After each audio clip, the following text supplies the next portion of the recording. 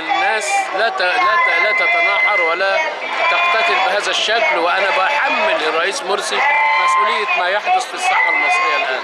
مش إحنا السبب في هذا الاحتقان هو السبب في هذا الاحتقان وأنا بقول اللي طلع العفريت يصرفه. في عفريت طلع في مصر.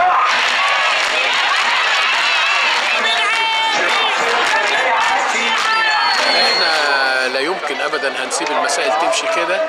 وعايزين نخلي الناس تستريح في آه، تص- اعتصاماتها أو في مظاهراتها. إحنا يوم الثلاث في موقف آخر إنه الجرايد مش هتطلع. إحنا هنفضل نصعد كده لغاية ما نوصل إلى ال- ال- ال- ال- ال- ال- التوب يعني. إحنا يوم الثلاث الصحف مش طالعة الفضائيات مش طالعة الدنيا كلها مقفولة. القضاء واقف. إذا هو عايز يوقف البلد خلاص هو حر أنتوا مع الاخوان وانتوا مع السلفيين ضد البلاد اتكل على الله بقى. اتكل على الله يلا. الذي يحدث في الهيئه التاسيسيه باطل لأنه كل الأمور باطلة هناك. الهيئه التاسيسيه باطلة والناس الموجودة مش هم دول الممثلين ولذلك إحنا بنقول إن هذا الدستور باطل.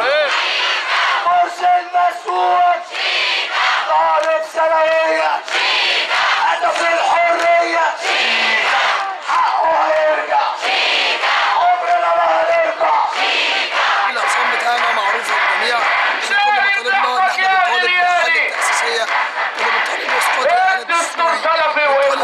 العاجل الاعتصام إلى الآن هي دي مطالبه محتمل التصعيد في اي لحظه ده اللي إحنا إن النخبة تطلع بيان بالتصعيد.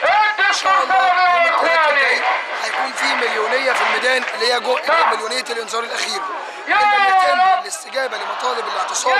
هيكون في إن شاء الله بعدها توجه لقصر الاتحاديه هتبقى جمعة زحف ثانية لإجبار مرسي. لإجبار مرسي على إنه ينفذ مطالب الاعتصام.